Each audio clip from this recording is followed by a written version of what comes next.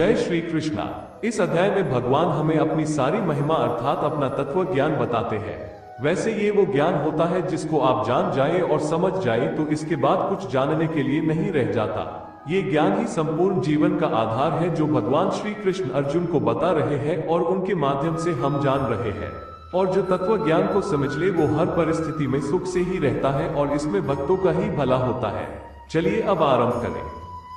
श्री भगवान बोले, हे पार्थ, अनन्य प्रेम से मुझमें आसक्त चित्त तथा अनन्य भाव से मेरे परायण होकर योग में लगे हुए तुम जिस प्रकार से संपूर्ण विभूति, बल, ऐश्वर्यादि गुणों से युक्त, सबके आत्मरूप मुझको संशय रहित जानोगे, उसको सुनो। मैं तुम्हारे लिए इस विज्ञान सहित तत्व ज्ञान को संपूर्णतया कहूँगा, जिसको जानकर संसार में फिर और कुछ भी जानने योग्य शेष नहीं रह जाता। हज़ारों मनुष्यों में कोई एक मेरी प्राप्ति के लिए यत्न करता है और उन यत्न करने वाले योगियों में भी कोई एक मेरे परायण होकर मुझको तत्व से अर्थात यथार्थ रूप से जानता है। पृथ्वी, जल, अग्नि, वायु, आकाश, मन, बुद्धि और अहंकार भी इस प्रकार ये आठ प्रकार से विभाजित मेरी प्रकृति है। यह आठ प्रकार के भेदों वाली तो अपरा अर्थात मेरी जड़ प्रकृति है और हे महाबाहो, इससे दूसरी को, जिससे ये संपूर्ण जगत धारण किया जाता है, मेरी जीवरूपा परा अर्थात चेतन प्रकृति जानो। हे अर्जुन तुम ऐसा समझो कि संपूर्ण भूत इन दोनों प्रकृतियों से ही उत्पन्न होने वाले हैं और मैं संपूर्ण जगत का प्रभव तथा प्रलय हूँ, संपूर्ण जगत का मूल कारण। हूँ हे धनंजय, मुझसे बिन दूसरा कोई भी परम कारण नहीं है। ये संपूर्ण जगत सूत्र में सूत्र के मनियों के सदृश मुझमें गुंथा हुआ है। हे अर्जुन, मैं जल में रस हूँ, चंद्रमा और सूर्य में प्रकाश हूँ, संपूर्ण वेदों में ओंकार हूँ, आकाश में शब्द और पुरुषों में पुरुषत्व हूँ। मैं पृथ्वी में पवित्र शब्द स्पर्श, रूप, रस, गंध से इस प्रसंग में इनके कारण रूप तन्मात्राओं का ग्रहण है। इस बात को स्पष्ट करने के लिए उनके साथ पवित्र शब्द जोड़ा गया है। गंध और अग्नि में तेज हूँ तथा संपूर्ण भूतों में उनका जीवन हूँ और तपस्वियों में तप हूँ। हे अर्जुन, तुम संपूर्ण भूतों का सनातन बीज मुझको ही जानो। मैं बुद्धिमानों की बुद्धि और तेजस्वियों का तेज हूँ।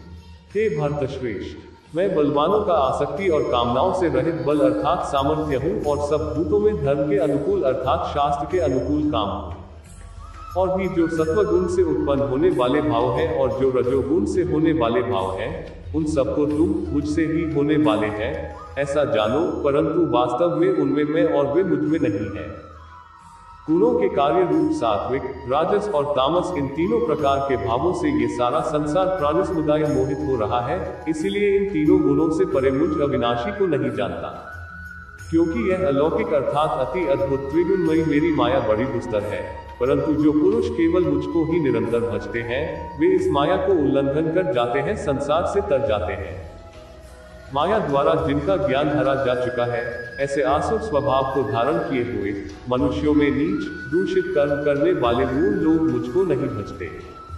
हे भरतवंशियों में श्रेष्ठ अर्जुन, उत्तम कर्म करने वाले अर्थार्थी सांसारिक पदार्थों के लिए भजने वाला आठ संकट निवारण के लिए भजने वाला, जिज्ञासु मेरे को यथार्थ रूप से जानने की इच्छा से भजने वाला और ज्ञानी ऐसे चार प्रकार के भक्तजन मुझको भजते हैं।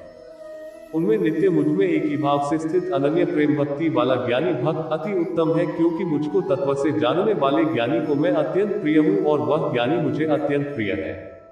ये सभी उदार है, परंतु ज्ञानी तो मेरा स्वरूप ही है, ऐसा मेरा मत है, क्योंकि वह मदगत, मन बुद्धि वाला ज्ञानी भक्त अति उत्तम गति स्वरूप मुझमें ही अच्छी प्रकार स्थित है।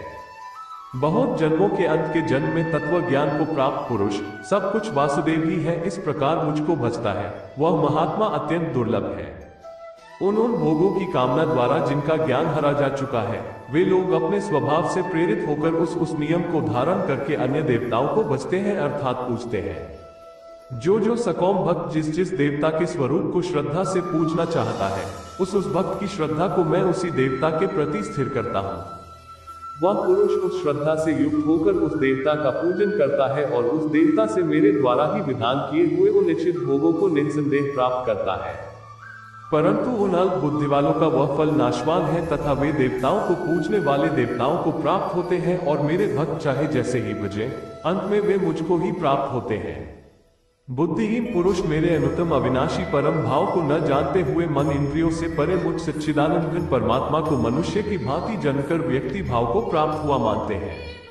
अपनी योगमाया से छिपा हुआ मैं सबके प्रत्यक्ष नहीं होता, इसलिए यह अज्ञानी जन समुदाय मुझ जन्मरहित अविनाशी परमेश्वर को नहीं जानता, अर्थात मुझको जन्मने मरने वाला समझता है। हे अर्जुन, पूर्व में व्यतीत हुए और वर्तमान में स्थित तथा आगे होने वाले सब भूतों को मैं जानता हूँ, परंतु मुझको कोई भी श्रद्धा भक्ति रहित पुरुष नहीं जानता। हे भरतवंशी अर्जुन, संसार में इच्छा और द्वेष से उत्पन्न सुख दुखादि द्वंद्व रूप मोह से संपूर्ण प्राणी अत्यंत गीता को प्राप्त हो रहे हैं। परंतु निष्काम भाव से श्रेष्ठ कर्मों का आचरण करने वाले जिन पुरुषों का पाप नष्ट हो गया है, वे राग जनित द्वंद्व रूप मोह से मुक्त दृढ़ निश्चयी भक्त मुझको सब प्रकार से भजते हैं। जो मेरे शरण होकर जरा और मरण से छूटने के लिए यत्न करते हैं, वे पुरुष उस ब्रह्म को, संपूर्ण अध्यात्म को, संपूर्ण कर्म को जानते हैं। जो पुरुष अधिभूत और अधिदेव सहित तथा अधीर्य सहित सबका आत्मरूप मुझे अंतकाल में भी जानते हैं। वे युग चित्त वाले पुरुष मुझे जानते हैं, अर्थात प्राप्त हो जाते हैं। इस प्रकार ब्रह्म विद्या का योग करवाने वाले शास्त्र, श्रीमद भगवद गीता रूपी उपनिषद में श्री कृष्ण और अर्जुन के संवाद रूपी ज्ञान विज्ञान योग नाम वाला सातवां अध्याय संपूर्ण हुआ। इसके बाद हम गीता का आठवां अध्याय पढ़ेंगे। जय श्री कृष्णा